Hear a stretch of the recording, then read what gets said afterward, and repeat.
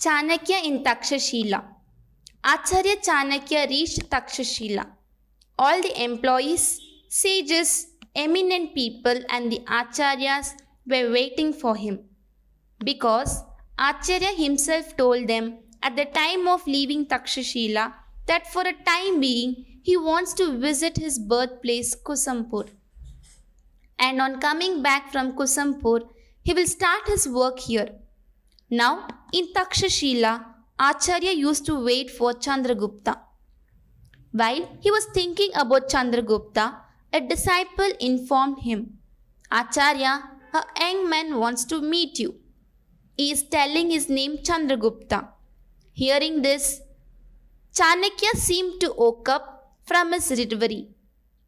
What you said? Has Chandragupta come? God bless you, and may you live a long life, said Chanakya to Chandragupta and hugged him.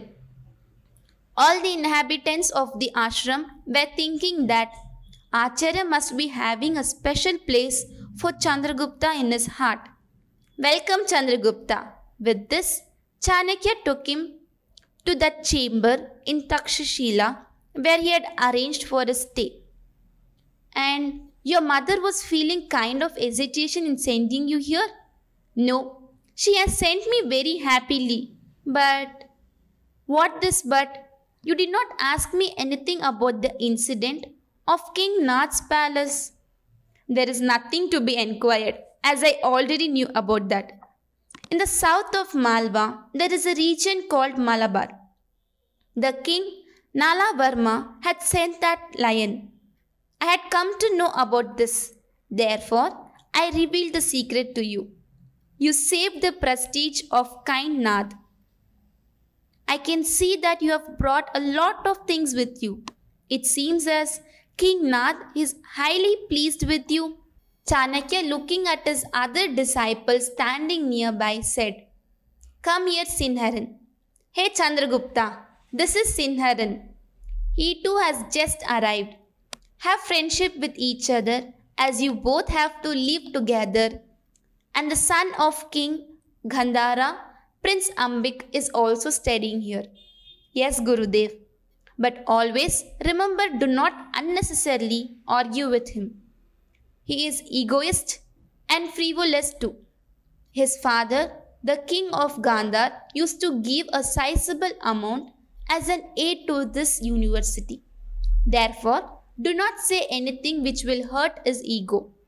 He is obviously an idiot and he considers himself to be a sovereign authority here. If any of his comments hurts your feelings, just ignore that. If you want to fulfill your aim, you should not waste your time on the impediments on the way, otherwise, you will never achieve your aim. As you say, Gurudev. Both Chandragupta and Sinharan kept his instructions on their minds. Well, Sinharan, you please arrange some food for Chandragupta. He has travelled over such a long distance. As you say, Gurudev. After Sinharan left, Acharya Chanakya said to Chandragupta, Listen, son, you must pay particular attention that you will introduce yourself as Chandragupta only in the ashram and you will never tell anyone that you are the son of Commander Maurya. Why is it so, Acharya? Because you're taking the grant sanctioned by King Nath, and if he will come to know that you are the son of his enemy, he may arm you. Therefore, until such time that you become strong, capable, and proficient, you must not reveal this secret to anybody. I shall do exactly as you have said. Please be rest assured. Chanakya left him. Chandragupta started his formal education in the Takshashila University in the prescribed and methodological manner. He used to start his day with prayers and meditations, followed by studying various sciences, including finance management and other subjects. This was his daily routine. Gradually, Chandragupta acquired proficiency in all his subjects. Then, one day Chanakya said to his disciples, Dear students, the Chancellor has accepted my request. Now, I am going to stay back only to teach you economics. After this, my duty of imparting knowledge to you as a guru will be over and thus I will be formally free from my job in this university. But Acharya, we need education in arms and armed combat rather than economics. If we look at the state of affairs here, we request you to make us proficient in the arms and ammunitions. After they become experts in all subjects, Acharya Chanakya asked both of them to return to their respective kingdoms. My dear disciples, please go back. Sinharan, you are from Malwa, hence a citizen of Malwa. And you are a Magadha, Chandragupta. That you belong to these culturally rich states is a matter of prestige. Is this legacy good enough to earn respect? If you want to raise above from these narrow boundaries of regionalism and accept Aryavart or Bharat as your legacy, only then you can gain real respect and prestige. Remember, security and safety of the race and the nation is the religion of the cities where the citizens live. This will not be possible with small units like kingdoms. Either you are ignorant or you have forgotten that once I had indicated about the independent, small, self governed kingdoms of Aryavart, which in fact are spread all over, will be demolished by the foreign invaders. We have a dispute with Ambik, and I am sure with his revengeful and narrow mindedness, he will not be kept quiet. Gandhar kingdom is the western entrance of Aryavart. This dispute will be continuously pricking his ego, will provoke him. When events will attack on us, then he will not hesitate for a moment to join hands with them to take revenge on us. You know that there has been an old feud and enmity between the king of Panchanand, King Parvateshwar, and the kingdom of Gandhar. To break up the old enmity, Ambik will try to join hands with the Yavans to insult Parvateshwar. Magadha is obviously in a pathetic state under the rule of Nad. How poor is his armory and the strength of his army is already seen by all. Do you want to be responsible to provide an opportunity to push Aryavart into the state of Persil?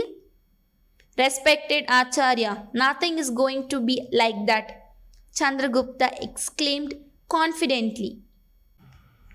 I, Chandragupta Maurya, will take an oath that I will not let Yavans to succeed in their conspiracy. I will not let anything like this happen. I am aware of your strength, my dear disciple. But for achieving success, you will have to gather resources in Magadha. It is pointless to spend any more time here. And I too will leave from here and discuss with the king of Panchanand. Sinharan, you too be alert. Your blessings shall protect me, Acharya. With this, Chandragupta started preparing for his dispatcher to Magadha.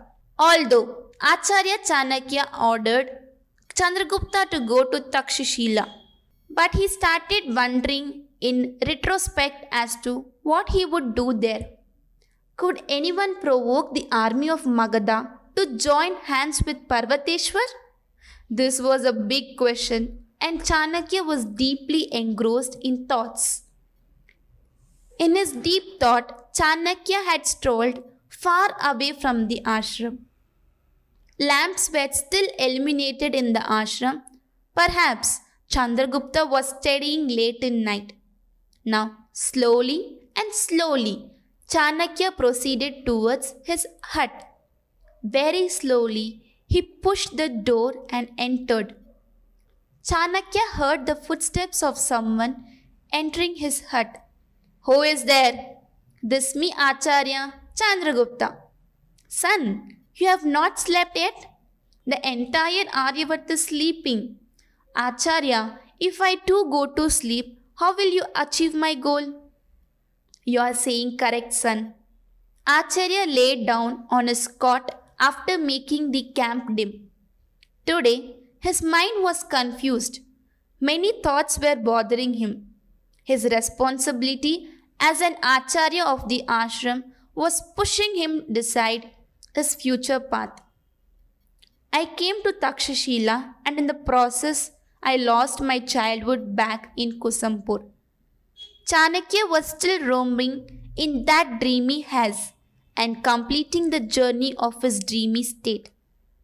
There was neither the ashram in his vicinity nor was in Takshashila.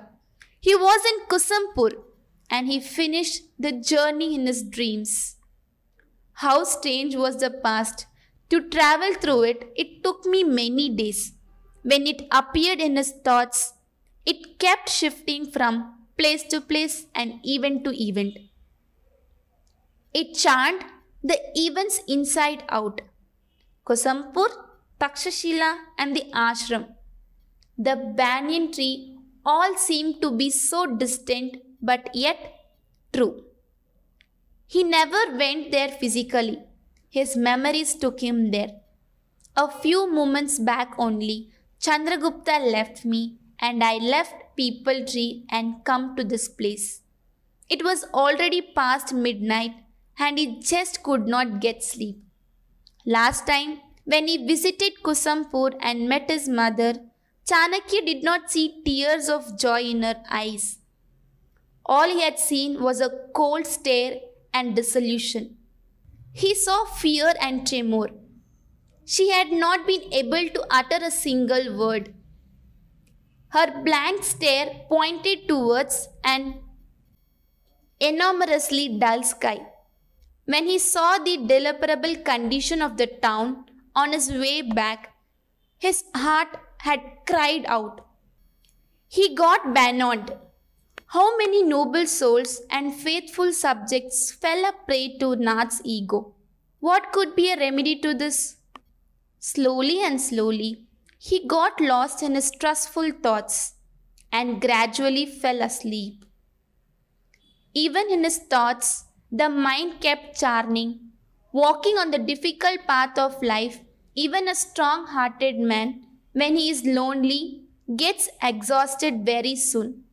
But I am not alone. Sinha is with me. What if he is a Malwa? Chandragupta is with me. At least he is from Magadha. But is there any difference between Malwa and Magadha? If it is a question of national integration, Malwa also will not accept and adopt a narrow view when it is if will come to Aryavart.